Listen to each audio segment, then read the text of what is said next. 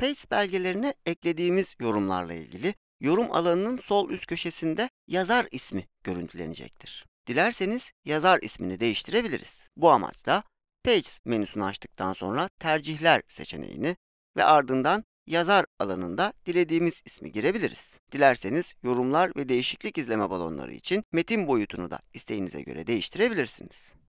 Bunun dışında yorum yapılan alandaki yazar isimleriyle ilgili renklendirmeleri ya da yorum alanlarını gözüküp gözükmemesi ile ilgili çeşitli işlemler de gerçekleştirebiliriz. Bu amaçla görüntü menüsünü açtıktan sonra yorumlar bölümünü göster ya da gizle diyerek bu alanı açıp kapatabilir ve yine görüntü menüsünün içerisinde bulunan yorumlar ve değişiklikler bölümünden yorumları gizleyebilir.